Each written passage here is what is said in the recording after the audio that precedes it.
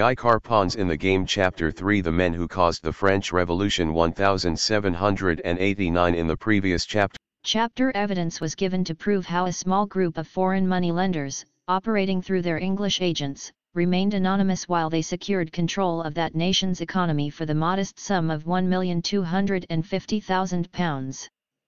Evidence will now be produced to identify some of these international Jewish money lenders and prove they, or their successors, plotted and planned, and helped finance, the Great French Revolution of 1789, exactly the same way as they had plotted and planned and financed the English Revolution of 1640 to 1649.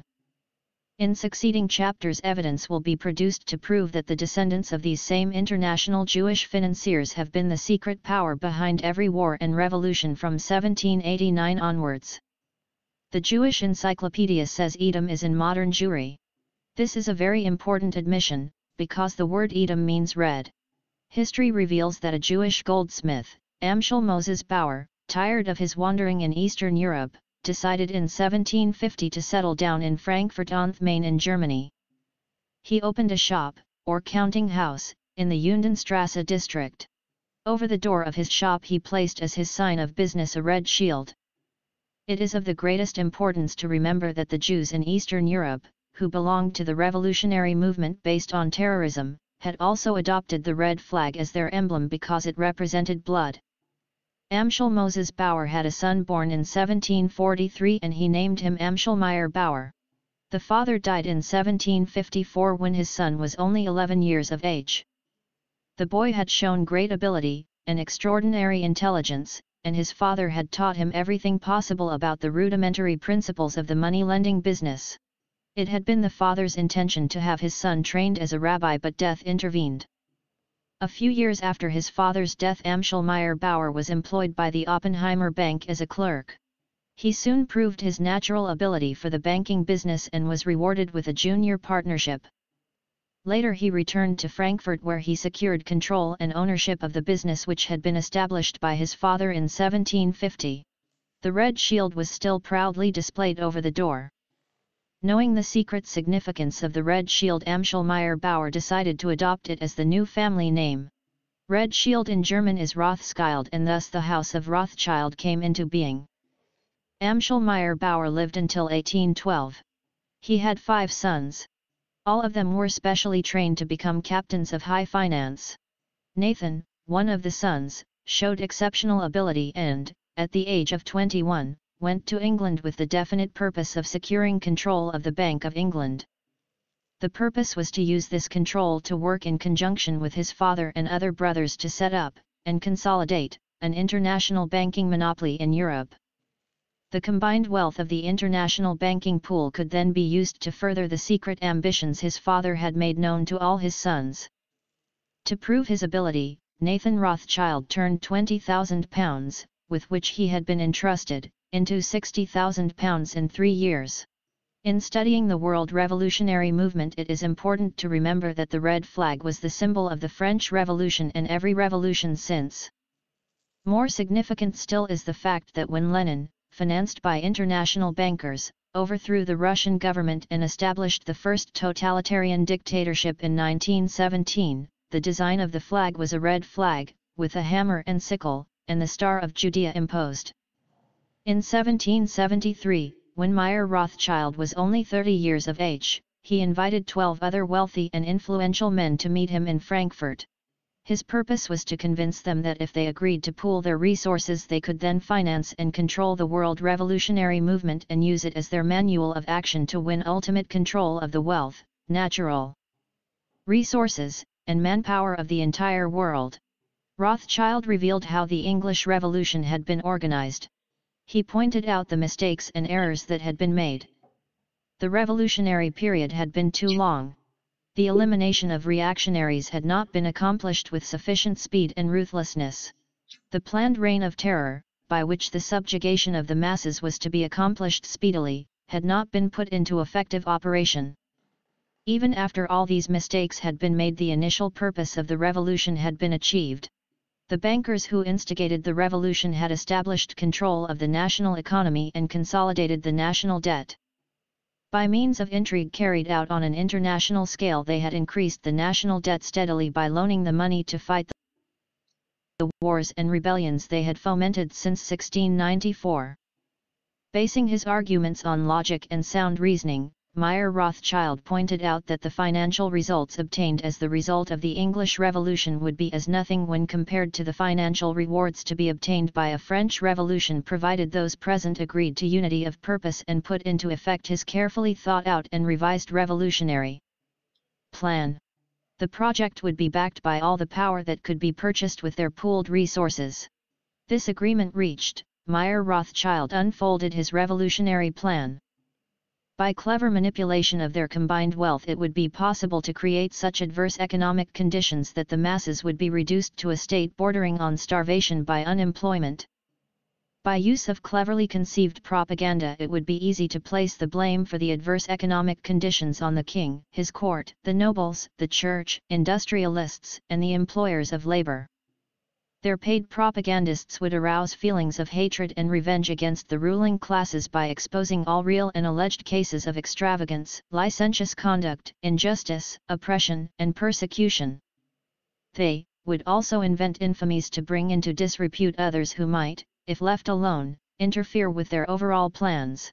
One after the general introduction to build up an enthusiastic reception for the plot he was about to unfold, Rothschild turned to a manuscript and proceeded to read a carefully prepared plan of action.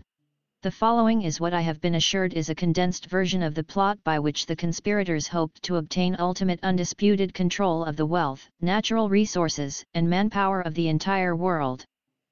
1. The speaker started to unfold the plot by saying that because the majority of men were inclined to evil rather than to good the best results in governing them could be obtained by using violence and terrorism and not by academic discussions. The speaker reasoned that in the beginning human society had been subject to brutal and blind force which was afterwards changed to law. He argued that law was force only in disguise. He reasoned it was logical to conclude that by the laws of nature right lies in force. 2. He next asserted that political freedom is an idea and not a fact. He stated that in order to usurp political power all that was necessary was to preach liberalism so that the electorate, for the sake of an idea, would yield some of their power and prerogatives which the plotters could then gather together into their own hands. 3. The speaker asserted that the power of gold had usurped the power of liberal rulers even then, i.e. 1773. He reminded his audience that there had been a time when faith had ruled but stated that once freedom had been substituted for faith the people did not know how to use it. In moderation. He argued that because of this fact it was logical to assume that they could use the idea of freedom to bring about class wars. He pointed out that it was immaterial to the success of his plan whether the established governments were destroyed by internal or external foes because the victor had of necessity to seek the aid of capital which is entirely in our hands 21 pounds 4. He argued that the use of any and all means to reach their final goal was justified on the grounds that the ruler who governed by the moral code was not a skilled politician because he left himself vulnerable and in an unstable position on his throne he said those who wish to rule must have recourse to cunning and to make-believe because great national qualities like frankness and honesty, are vices in politics are 31.5. He asserted our right lies in force. The word right is an abstract thought and proves nothing. I find a new right, to attack by the right of the strong, and to scatter to the winds all existing forces of order and regulation, to reconstruct all existing institutions, and to become the sovereign lord of all those who left to us the rights to their powers by laying them down voluntarily in their liberalism. 6. He then admonished his listeners with these words The power of our resources must remain invisible until the very moment when it has gained such strength that no cunning or force can undermine it. He warned them that any deviation from the line of the strategical plan he was making known to them would risk bringing to naught the labours of centuries. 7. He next advocated the use of mob psychology to obtain control of the masses. He reasoned that the might of the mob is blind, senseless, and unreasoning and ever at the mercy of suggestion from any side. He stated only a despotic ruler can rule the mob efficiently because without absolute despotism there can be no existence for civilization which was carried out not by the masses, but by their guide, whosoever that person might be.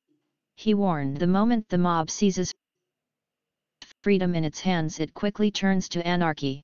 8.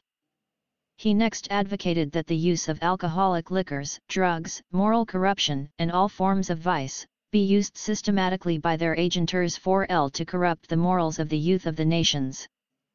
He recommended that the special agenters should be trained as tutors, lackeys, governesses, clerks and by our women in the places of dissipation frequented by the Goyim 5i he added in the number of these last I count also the so-called society ladies who become voluntary followers of the others in corruption and luxury. We must not stop at bribery, deceit and treachery when they should serve towards the attainment of our end. 9. Turning to politics he claimed they had the right to seize property by any means, and without hesitation, if by doing so they secured submission, and sovereignty. He pronounced our state marching along the path of peaceful conquest has the right to replace the horrors of wars by less noticeable and more satisfactory sentences of death necessary to maintain the terror which tends to produce blind submission. 10. Dealing with the use of slogans he said in ancient times we were the first to put the words liberty, equality and fraternity into the mouths of the masses. Words repeated to this day by stupid poll parrots, words which the would-be wise men of the Goyim could make nothing of in their abstractness, and did not note the contradiction of their meaning and interrelation. He claimed the words brought under their directions and control legions who bore our banners with enthusiasm. He reasoned that there is no place in nature for equality, liberty or fraternity. He said on the ruins of the natural and genealogical aristocracy of the Goyim we have set up the aristocracy of money. The qualification for this aristocracy is wealth which is dependent upon us. Asterisk slash slash this would suppose that the speaker felt that hereditary aristocracy is a natural development, societal evolution, and is a blessing, and that the gift of statecraft is perpetually passed on from father to son. Was it really his opinion, or was it just visited upon him, after the fact, by the writer of these original documents who seems to be in favor of feudalism? 11. He next expounded his theories regarding war. In 1773 he set down a principle which the governments of Britain and the United States publicly announced as their joint policy in 1939. He said it should be the policy of those present to foment wars but to direct the peace conferences so that neither of the combatants obtained territorial gains. He said the wars should be directed so that the nations engaged on both sides would be placed further in their debt, and in the power of our agenters. 12. He next dealt with administration. He told those present that they must use their wealth to have candidates chosen for public office who would be servile and obedient to our commands, so they may readily be used as pawns in our game by the learned and genius men we will appoint to operate behind the scenes of government as official advisers. He added the men we appoint as advisers will have been bred, reared and trained from childhood in accordance with our ideas to rule the affairs of the whole world. 13. He dealt with propaganda, and explained how their combined wealth could control all outlets of public information while they remained in the shade and clear of blame regardless of what the repercussions might be due to the publication of libels, slanders, or untruths. The speaker said thanks to the press we have got gold in our hands notwithstanding the fact that we had to gather it out of the oceans of blood and tears. But it has paid us even though we have sacrificed many of our own people. Each victim on our side is worth a thousand goyim p14. He next explained the necessity of having their agenter always come out into the open, and appear on the scene, when conditions had reached their lowest ebb, and the masses had been subjugated by means of want and terror. He pointed out that when it was time to restore order they should do it in such a way that the victims would believe they had been the prey of criminals and irresponsibles. He said by executing the criminals and lunatics after they have carried out our preconceived reign of terror, we can make ourselves appear as the saviors of the oppressed, and the champions of the workers. The speaker then added we are interested in just the opposite. In the diminution, the killing out of the Goyim P15. He next explained how industrial depressions and financial panics could be brought about and used to serve their purpose saying enforced unemployment and hunger, imposed on the masses because of the power we have to create shortages of food, will create the right of capital to rule more surely than it was given to the real aristocracy, and by the legal authority of King's P he claimed that by having their agenter control the mob, the mob could then be used to wipe out all who dared to stand in their way. 16. The infiltration into continental Freemasonry was next discussed extensively. The speaker stated that their purpose would be to take advantage of the facilities and secrecy Freemasonry had to offer. He pointed out that they could organize their own Grand Orient lodges within Blue Freemasonry in order to carry on their subversive activities and hide the true nature of their work under the cloak of philanthropy. He stated that all members initiated into their Grand Orient lodges should be used for proselytizing purposes and for spreading their atheistic materialistic ideology amongst the Goyim. He ended this phase of the discussion with the words, when the hour strikes for our sovereign Lord of all the world to be crowned these same hands will sweep away everything that might stand in his way p asterisk slash slash are you saying that, anti-Catholic, anti-monarchical, anti-feudalist, anti-Christian, Freemasonry, continental or otherwise, was good until the international money power ruined it? 17 He next expounded the value of systematic deceptions, pointing out that their agenter should be trained in the use of high-sounding phrases, and the use of popular slogans. They should make the masses the most lavish of promises. He observed the opposite of what has been promised can always be done afterwards. That is of no consequence p he reasoned that by using such words as freedom and liberty, the Goyim could be stirred up to such a pitch of patriotic fervour that they could be made to fight even against the laws of God, and nature. He added and for this reason after we obtain control the very name of God will be erased from the lexicon of life. 6118. He then detailed the plans for revolutionary war, the art of street fighting, and outlined the pattern for the reign of terror which he insisted must accompany every revolutionary effort. Because it is the most economical way to bring the population to speedy subjection. 19. Diplomacy was next discussed. After all wars secret diplomacy must be insisted upon in order that our agenter, masquerading as political, financial, and economic advisers, can carry out our mandates without fear of exposing who are the secret power behind national and international affairs. The speaker then told those present that by secret diplomacy they must obtain such control that the nations cannot come to even an inconsiderable private agreement without our secret agents having a hand in it. 20.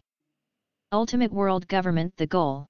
To reach this goal the speaker told them it will be necessary to establish huge monopolies, reservoirs of such colossal riches, that even the largest fortunes of the Goyim will depend on us to such an extent that they will go to the bottom together with the credit of their governments on the day after the great political smash. The speaker then added You gentlemen here present who are economists just strike an estimate of the significance of this combination. 21 Economic War Plans to rob the Goyim of their landed properties and industries were then discussed.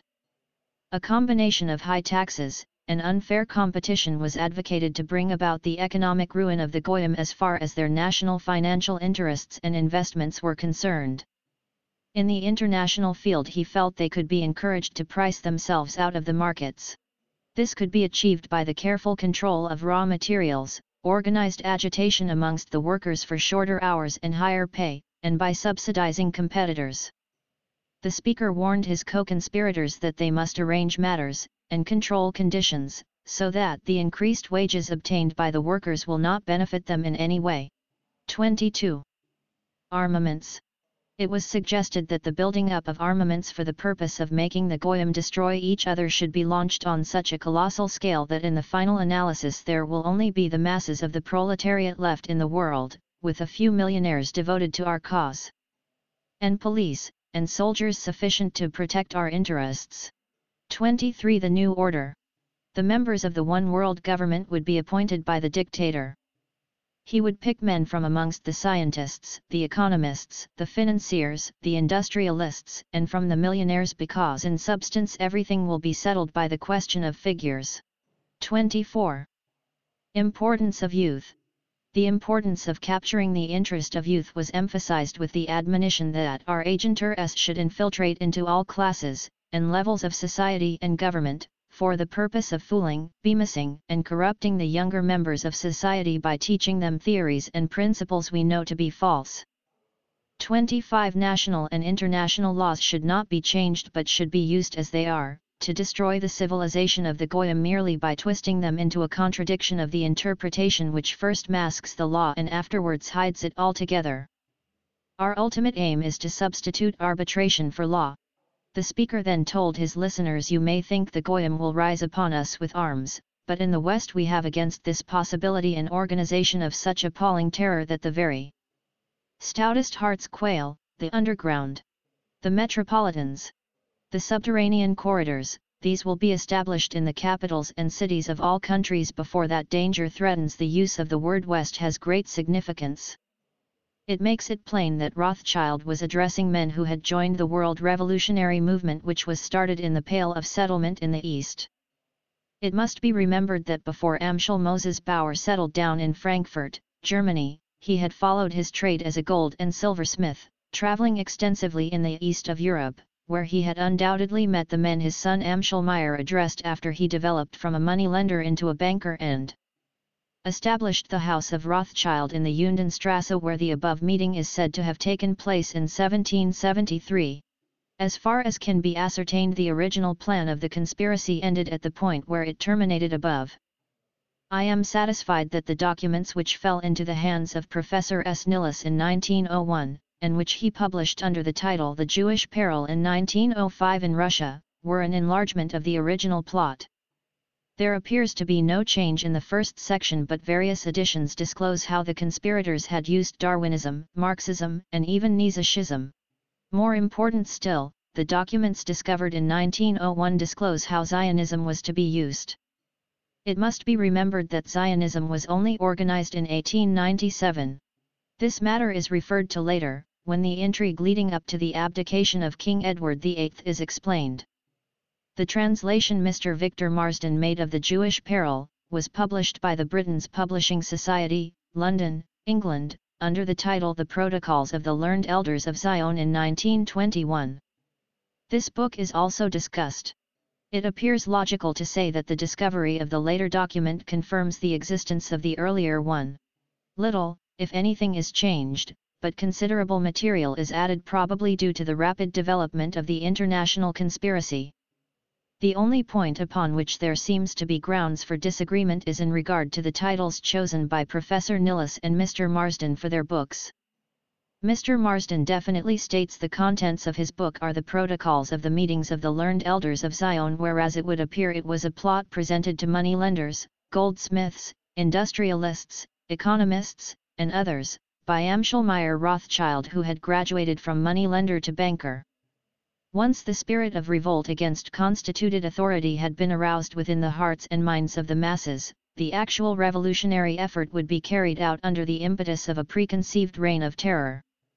The reign of terror would be conceived by the leaders of the Jewish Illuminati they in turn would have their agents infiltrate into the newly organized French Freemasonry and establish therein lodges of Grand Orient Masonry to be used as the revolutionary underground and as their instrument for proselytizing the doctrine of atheistic, dialectical and historical materialism.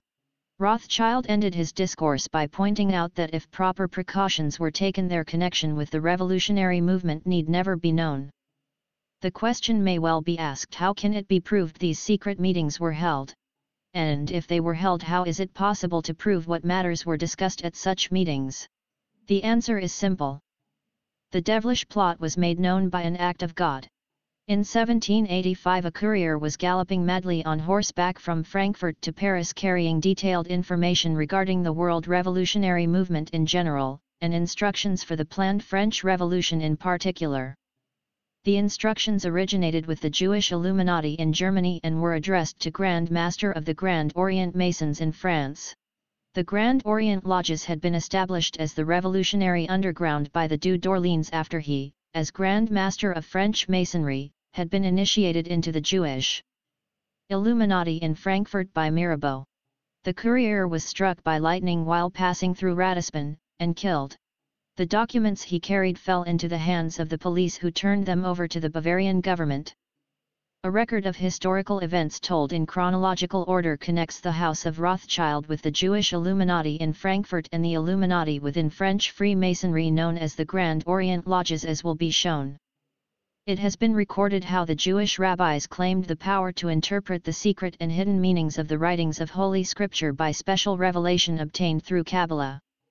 Claiming to have such powers was of little avail unless they had an organization, or instrument, in their hands to put the inspiration they claimed to have received into effect.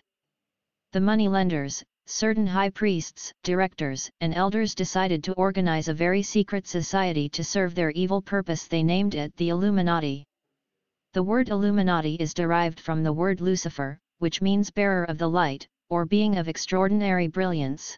Therefore the Illuminati was organized to carry out the inspirations given to the high priests by Lucifer during the performance of their Kabbalistic rites. Thus Christ is proved justified when he named them of the synagogue of Satan. The Supreme Council of the Jewish Illuminati numbered 13. They were, and still remain, the executive body of the Council of 33. The heads of the Jewish Illuminati claim to possess superlative knowledge in everything pertaining to religious doctrine, religious rites, and religious ceremonies. They were the men who conceived the atheistic materialistic ideology which in 1848 was published as the Communist Manifesto by Karl Marx.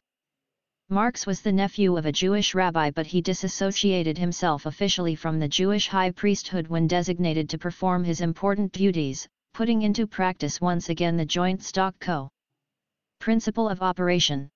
The reason the Supreme Council numbered 13 was to remind the members that their one and only duty was to destroy the religion founded by Christ and his twelve apostles. JTL to ensure secrecy and avoid the possibility of Judas-like betrayal, every man initiated into the Illuminati was required to take an oath of unlimited obedience to the head of the Council of 33 and to recognize no mortal as above him. In an organization, such as the Illuminati, this meant that every member acknowledged the head of the Council of 33 as his god upon this earth. This fact explains how high-level communists, even today, swear on oath that they do not give allegiance to Russia. They don't. They give allegiance only to the head of the directors of the World Revolutionary Movement the Supreme Council decided they would use the Ingolstadt Lodge to organize a campaign by which the agents or cells of the Illuminati would infiltrate into continental Freemasonry and, under the cloak of social enjoyment and public philanthropy, organize their revolutionary underground. Those who infiltrated into continental Freemasonry were ordered to establish lodges of the Grand Orient and use them for proselytism so they could quickly contact non-Jews of wealth, position, and influence connected with both church and state. Then, by using the age-old methods of bribery, corruption, and graft, they could make them become willing, or unwilling, disciples of Illuminism. They could make them preach the inversion of the Ten Commandments of God. They could make them advocate atheistic materialism. Once this policy had been decided upon, agents of the Supreme Council contacted the Marquis of Mirabeau as the most likely person in France to serve their ends. Phi belonged to the nobility. He had great influence in court circles, he was an intimate friend of the Duc d'Orleans whom they had decided they would use as front man to lead the French Revolution. But more important still, the Marquis of Mirabeau was devoid of morals and his licentious excesses had led him heavily into debt. It was a simple matter for the money-lenders to have their agents contact Mirabeau, the famous French orator. Under the guise of friends and admirers they offered to help him out of his financial difficulties what they actually did was lead him down the primrose path into the very depths of vice and debauchery until he was so deeply in their debt that he was forced to do their bidding.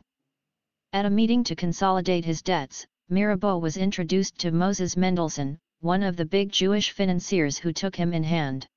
Mendelssohn in due time introduced Mirabeau to a woman, famous for her personal beauty and charm but without moral scruples. This stunning Jewess was married to a man named Herz, but, to a man like Mirabeau, the fact that she was married only made her more desirable.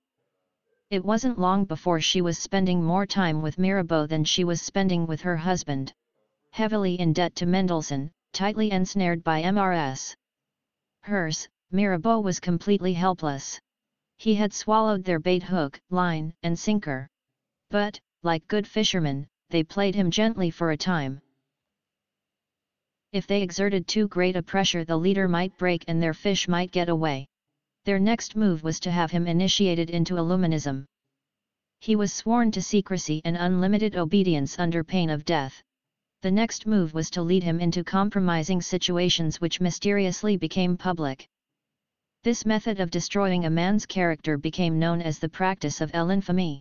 Because of scandals and organized detraction, Mirabeau was ostracized by many of his social equals. His resentment produced a desire for revenge and thus he embraced the revolutionary cause. Mirabeau's task was to induce the Duc d'Orleans to lead the revolutionary movement in France. It was implied that once the king had been forced to abdicate he would become the democratic ruler of France. The real plotters of the French Revolution were careful not to let either Mirabeau or the Duc d'Orleans know they intended to murder the king and queen, and thousands of the nobility. They made Mirabeau and the Duc d'Orleans believe that the purpose of the revolution was to free politics and religion from superstition and despotism. Another factor which made the men who were the secret power behind the revolutionary movement decide that the Duc d'Orleans should be their front man was the fact that he was Grand Master of French Freemasonry. Adam Weishaupt was given the task of adapting the ritual and rites of Illuminism for use of initiation into the Grand Orient Masonry. He also lived in Frankfurt, Germany. Mirabeau introduced the Duc d'Orleans and his friend Talleyrand to Weishaupt who initiated them into the secrets of Grand Orient Masonry. By the end of 1773 Philip, Duc d'Orleans had introduced the Grand Orient ritual into French Freemasonry. By 1788 there were more than 2,000 lodges in France affiliated with Grand Orient Masonry and the number of individual adepts exceeded 100,000. Thus the Jewish Illuminati under Moses Mendelssohn was introduced into continental Freemasonry by Weishaupt under the guise of lodges of the Grand Orient. The Jewish Illuminati next organized secret revolutionary committees within the lodges. Thus the revolutionary underground directors were established throughout France. Once Mirabeau had succeeded in having the Duc d'Orleans amalgamate the Blue or National Freemasonry in France with the Grand Orient rites, he led his friend down the same primrose path which had led to his own social ostracism. In exactly four years, the Duc d'Orleans was so heavily in debt that he was persuaded to engage in every form of illegal traffic and trade to recuperate his losses. But in some mysterious manner his ventures always seemed to go wrong and he lost more and more money. By 1780 he owed 800,000 livres. Once again the money-lenders came forward and offered him advice in regard to his business transactions and financial aid. They very nicely maneuvered him into the position of signing over to them as security for their loans, his palace, his estates, his house, and the Palais Royal. The Duc d'Orleans signed an agreement under which his Jewish financiers were authorized to manage his properties and estates so as to ensure him sufficient income to meet his financial obligations and leave him a steady and adequate income the Duc d'Orleans had never been too bright in regard to financial matters. To him the agreement he signed with his Jewish bankers appeared to be a sound financial deal. They had offered to manage his business affairs and turn them from a dismal failure into a great financial success. What more could he want? It is doubtful if the Duc d'Orleans even suspected that there was a nigger hidden deep in the woodpile. It is doubtful if he even suspected he had sold himself body and soul to the agents of the devil but he had done so. He was completely in their hands. 8. The secret powers directing the French Revolution appointed Coderlos de Laclos to manage the Palais Royal and the Duc d'Orleans estates. De Laclos is thought to have been a Jew of Spanish origin. When he was appointed manager of the Palais Royal he was acclaimed as the author of Les Liaisons Dangereuses and other pornographic works. He publicly defended his extreme immorality on the grounds that he studied the politics of love in all its varied aspects because of his love of politics. It matters little who Coderlos de Laclos was, it is what he did that is of importance. He turned the Palais Royal into the greatest and most notorious house of ill fame the world has ever known. In the Palais Royal he established every kind of lewd entertainment, licentious conduct, shameless shows, obscene picture galleries, pornographic libraries, and staged public exhibitions of the most bestial forms of sexual depravity. Special opportunities were provided for men and women who wished to indulge in every form of debauchery. The Palais Royal became the center in which details of the campaign for the systematic destruction of the French religious faith and public morals were conceived and carried out. This was done on the Kabbalistic theory that the best revolutionary is a youth devoid of morals. Associated with Delaclos was a Jew from Palermo named Cagliostro, alias Joseph Balsamo. He turned one of the Dew's properties into a printing house from which he issued revolutionary pamphlets. Balsamo organized a staff of revolutionary propagandists. In addition to literature they organized concerts, and plays, and debates calculated to appeal to the very lowest instincts of human nature and further the revolutionary cause. Balsamo also organized the spirings which enabled the men who were the secret power behind the revolutionary movement to put into operation their plan of L'Infamie to be used for systematic character assassination. Men and women, who were enticed into the web spun by Delaclos and Balsamo, could be blackmailed into doing their bidding. Thus it was the Duc d'Orleans estates were turned into the center of revolutionary politics while, under the guise of lecture halls, theaters, art galleries, and athletic clubs, the gambling rooms, brothels, and wine and drug shops did a roaring trade. In this revolutionary underworld potential leaders were first ensnared. Their consciences were at first deadened by evil associations and then killed by indulgence in evil practices the estates of the Duc d'Orleans were turned into factories in which the secret power behind the world revolutionary movement manufactured the pieces they intended to use in their game of international chess. Scudder, who wrote Prince of the Blood says of the Palais Royal, it gave the police more to do than all other parts of the city. But as far as the public was concerned, this infamous place was owned by the Duc d'Orleans, the cousin of the king.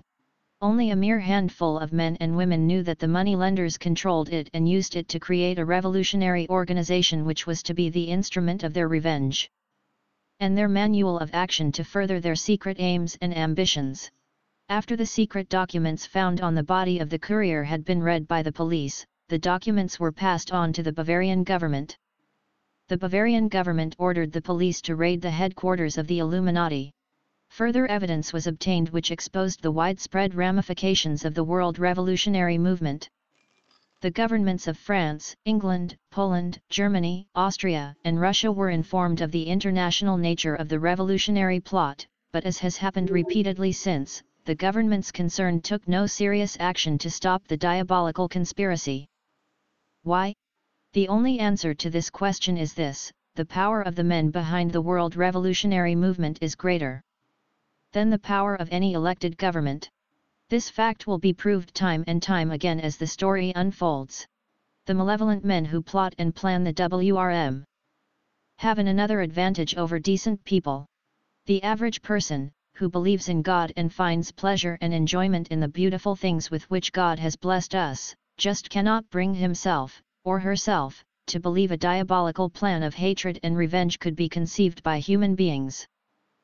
Although all Christians believe most sincerely that the grace of God enters their own souls as the result of attending their religious services, receiving the sacraments, and saying their prayers, they cannot make themselves believe that through the ceremonies and rites of the Illuminati, be it the Semitic Kabbalah or the Aryan pagan Grand Orient type, the devil does inoculate his evil. Influence and powers into the hearts and souls of the men and women who accept, as their religion, Satanism or atheism, and put the theories of their high priests into practice. A few illustrations will be given to show how individuals and governments have remained just as stupid and naive in regard to warnings given them concerning the evil mechanism of the real leaders of the world revolutionary movement. After various governments failed to act on the information made known by the Bavarian police in 1785, the sister of Marie Antoinette wrote her personal letters warning her of the revolutionary plot, the connection of the international bankers, the part Freemasonry was destined to play, and her own danger. Marie Antoinette, 1755-1793, was the daughter of the Emperor Francis I of Austria. She married Louis XVI of France. She just couldn't bring herself to believe the terrible things her own sister told her were being plotted by the Illuminati. To the repeated warnings sent by her sister, Marie Antoinette wrote long letters in reply. In regard to her sister's claim that evidence had been obtained that the Illuminati operating under the guise of philanthropic Freemasonry planned to destroy both the church and state in France, Marie Antoinette replied, I believe that as far as France is concerned, you worry too much about Freemasonry. Here it is far from having the significance it may have elsewhere in Europe. How wrong she proved to be is a matter of history. Because she refused consistently to heed her sister's repeated warnings she and her husband died under the guillotine. Between 1917 and 1919 the British government was given full particulars regarding the international bankers who were at that time the secret power behind the WRM. The information was submitted officially by British intelligence officers, American intelligence officers and confirmed by Mr. Edendijk and Sir M. Findlay. Mr. Edendijk was the representative of the Netherlands government in St. Petersburg, now Leningrad, at the time. He looked after Britain's interests after the mob had wrecked the British embassy, and killed Commander E. N. Cromie. This aspect of the WRM is dealt with in detail in subsequent chapters on Russia. The majority of students of history believe Marie Antoinette was a woman who entered fully into the spirit and gaiety of the French court. It is generally accepted as a fact that she engaged in many affairs d'amour with her husband's close friends, and indulged in reckless extravagances. That is the picture Balsamo and his propagandists painted of her. The fact that they made their LINF, Amy stick enabled them to have the mob demand her life. But their version of the conduct of Marie Antoinette is a pack of lies, as historians have proved the fortitude with which she bore the sufferings inflicted upon her by her enemies, the dignity with which she met her fate, and the resignation and courage with which she offered up her life on the scaffold, cannot be reconciled with the characteristics of a wanton woman. In order to defame Marie Antoinette, Weishaupt and Mendelssohn thought up the idea of the diamond necklace. At the time, the financial resources of France were at their lowest ebb and the government of France was begging the international money barons to grant them further credit. A secret agent of the arch-conspirators ordered a fabulous diamond necklace to be made by the court jewelers. The order for this necklace, the estimated value of which was a quarter of a million livres, was placed in the name of the queen. When the court jewelers brought the diamond necklace to the queen for her acceptance she refused to have anything to do with it. She disclaimed all knowledge of the transaction. But the news of the fabulous necklace leaked out as the plotters intended it should. Balsamo put his propaganda machine into operation. Marie Antoinette was deluged with criticism, her character was smeared, her reputation dragged in the mire by a whispering campaign of character assassination. And, as usual, nobody could ever put a finger on the person or persons who started the slanders. After this build-up, Balsamo uncorked his own special masterpiece. His printing presses turned out thousands upon thousands of pamphlets which claimed a secret lover of the Queen's had sent the necklace as a mark of appreciation for her favors. But those who operated L'Infamie thought up even more diabolical slanders to circulate regarding the Queen. They wrote a letter to Cardinal Prince de Rohan to which they forged the signature of the Queen. In the letter he was asked to meet her at the Palais Royal about midnight to discuss the matter of the diamond necklace. A prostitute from the Palais Royal was engaged to disguise herself as the Queen, and involve the Cardinal. The incident was played up in newspapers and pamphlets and the foulest innuendos were circulated involving two of the highest personages of both church and state. History records that after the diamond necklace had served its foul purpose it was taken over to England and taken apart. A Jew named Eliason is said to have retained the majority of the valuable diamonds used in its original composition. Another piece of evidence which connects the English Jewish money lenders with the plot to bring about the French Revolution was unearthed by Lady Queensborough, author of Occult Theocracy. While doing some research work she read a copy of El Antisemitism written by a Jew named Bernard Lazare and published in 1849. With the leads obtained from this book Lady Queensborough claims Benjamin Goldsmid, his brother Abraham, and their partner Moses Mocatta, and his nephew Sir Moses Montefiore, were Jewish financiers in England who were definitely affiliated with their continental Jewish brethren in the plot to bring about the revolution in France. Further evidence was found to tie Daniel Itzig of Berlin, and his son-in-law David Friedlander, and Herr Beer of Alsace in with the Rothschilds and the plot thus are revealed the men who at that time constituted the secret power behind the world revolutionary movement. Knowledge of the methods these men used to maneuver the French government into financial difficulty is of importance, because it set the pattern they followed in America, Russia, Spain, and other countries afterwards. Sir Walter Scott in Volume 2 of The Life of Napoleon, gives a clear story of the initial moves. He then sums up the situation with these words These financiers used the government, French, as bankrupt prodigals are treated by usurious money lenders who, feeding the extravagance with one hand, with the other wring out of their ruined fortunes the most unreasonable recompenses for their advances. By a long succession of these ruinous loans, and various rights granted to guarantee them, the whole finances of France were brought to a total confusion. 9. After the government of France was forced into the position of seeking huge loans because of debts incurred in fighting wars to further the secret ambitions of the international conspirators, they very kindly offered to supply the money providing they could write the terms of the agreement. On the surface their terms were most lenient. But again they had placed a nigger in the woodpile in the person of one M. Necker. He was to be appointed to the French King's Council as his chief minister of financial affairs. The Jewish financiers pointed out that this financial wizard would pull France out of her monetary troubles in less than no time at all. What he actually did during the next four years was to involve the French government so badly with the Jewish financiers that the national debt increased to 170 million pounds.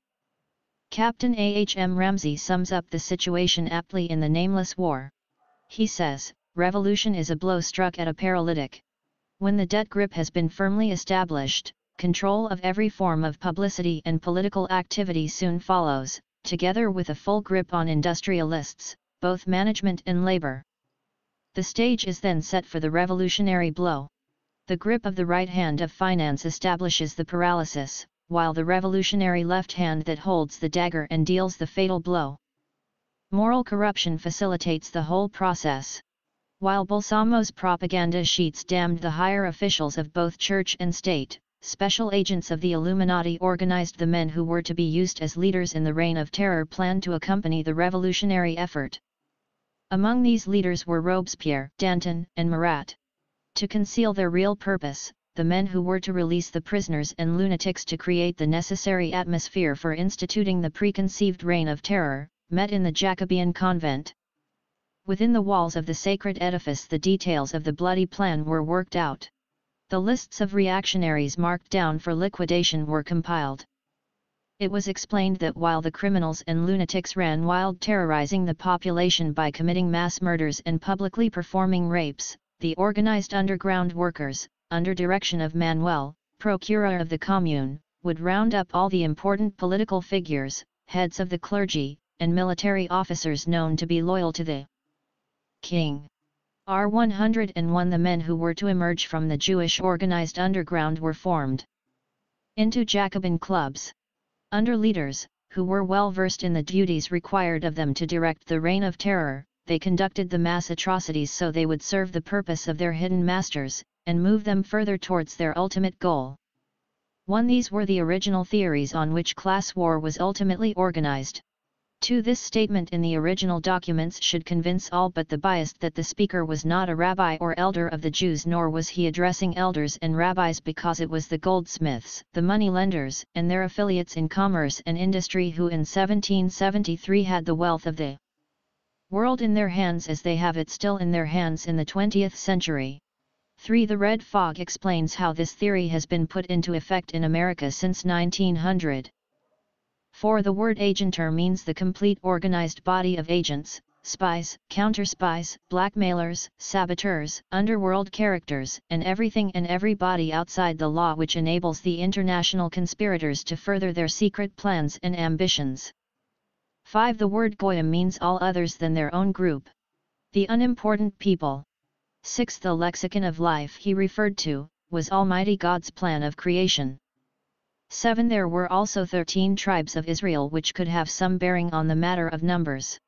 8. The same evil geniuses used their agents to involve William Pitt in debt and forced him to resign as Prime Minister of England because during the early part of his ministry he obstinately refused to allow England to become involved in wars.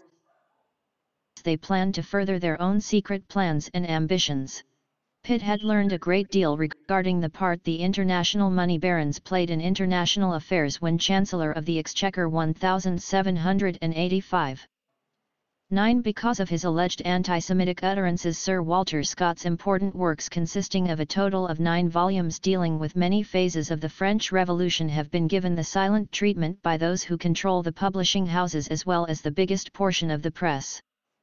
They are almost unattainable except in museum libraries and are never listed with his other works.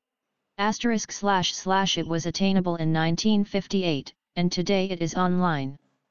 Several editions of it were published, and in the first half of the 19th century a generation of Americans learned the history of the Revolution and Napoleon from it. John S. C. Abbott on Scott's Flistery, bowed down with adversity and overwhelmed with debt, to extricate himself he performed the Herculean task of writing the life of Napoleon in one year. He had no time for investigation. Writing with the utmost rapidity, he could only record, in those glowing words which his genius ever dictated, the current rumors respecting Napoleon which were at his hand in the English journals. The success of his enterprise depended upon his writing a book adapted to the prejudices of the higher classes of English society. And he doubtless thought that the views cherished by the English aristocracy were correct.